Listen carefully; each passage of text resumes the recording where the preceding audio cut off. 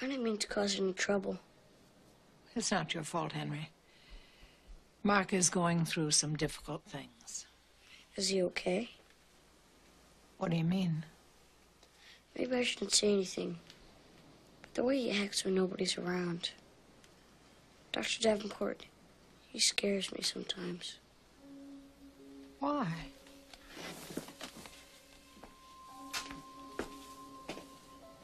What does he do?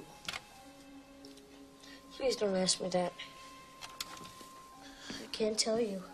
Why not? Because Mark's my friend. You won't be betraying him, I promise you. Please, Henry, tell me everything. Everything?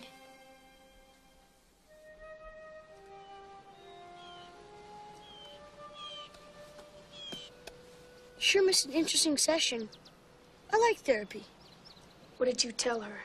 Sorry, it's strictly confidential. But you better stop telling lies about me, because no one's going to believe you. Sooner or later, they're gonna find out about you. Who's they? My dad? My mom? I told your mom. Why would she believe you?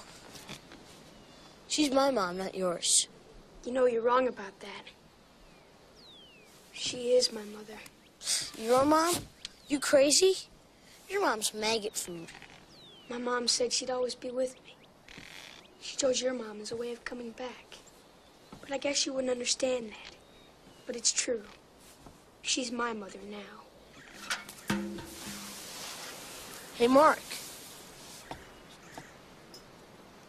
Don't fuck with me.